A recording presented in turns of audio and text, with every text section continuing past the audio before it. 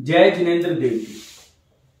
प्रत्येक माँ बाप का एक सपना होता है कि उसका बच्चा पढ़े लिखे, अपनी ज़िंदगी में कुछ करके दिखाए, अपने माँ बाप का, अपने खानदान का नाम रोशन करे। क्या सोचने मात्र से यह संभव हो सकता है? नहीं। हमें आज ही से उसके साथ मेहनत करनी होगी। अपने घर की एनर्जी को एनर्जाइज करना होगा। जहाँ पर बच्चा पढ़ता है, यानी कि स्टडी रूम को कैसे मेंटेन करना है? उसकी वर्किंग टेबल कहाँ होनी चाहिए? उसकी चेयर कहाँ होनी चाहिए? उसकी फेसिंग कहाँ होनी चाहिए? कमरे के अंदर तस्वीरें लगी हैं तो कहाँ लगी होनी चाहिए? घड़ी लगे तो कहाँ होनी चाहिए?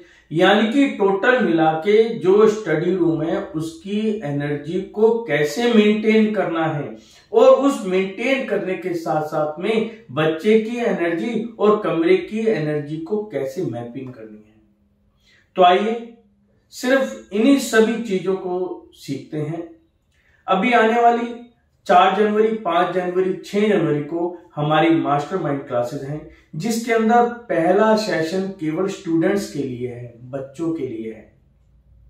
इसके अंदर हम सभी चीज़ें सीखेंगे कि हम अपने घर की एनर्जी और उस बच्चे की एनर्जी और जिस स्टडी रूम की एनर्जी को कैसे एनर्जाइज करना है और कैसे हमें बैलेंस करना है। जिससे कि ये होने के बाद वह अपना जो टारगेट है, जो वह बनना चाहता है, वो समय से पहले ही पूरा कर ले और जो आपके टारगेट्स हैं या आप जो बच्चे के बारे में चाहते हैं, वह फुलफिल हो सके।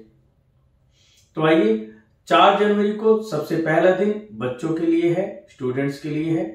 सभी अपने बच्चों को यह वेबिनार अटेंड कराएँ, अपने आस पड़ोस में, अपने रिश्तेदारों को और जिनको भी आप जानते हैं, इस वीडियो को फॉरवर्ड करें। हमारी वेबसाइट है लोकवास्तु डॉट कॉम, उस पर जाकर अपने आप को रजिस्टर करें। इसके नीचे जो लिंक दिया गया है, उसको वहाँ पर जाकर आप रजिस्टर कर सकते हैं, जिससे कि आप ज़्यादा से ज़्यादा लोग ग्रुप के अंदर जुड़ सकें और सीख सकें कि हम अपने इच्छाओं को कैसे पूरा कर सकते हैं। यह webinar total free of cost होगा और ज़्यादा से ज़्यादा इसके अंदर जुड़े, इसको फॉरवर्ड करें। सभी का बहुत बहुत धन्यवाद। जय जिनेन्द्र देव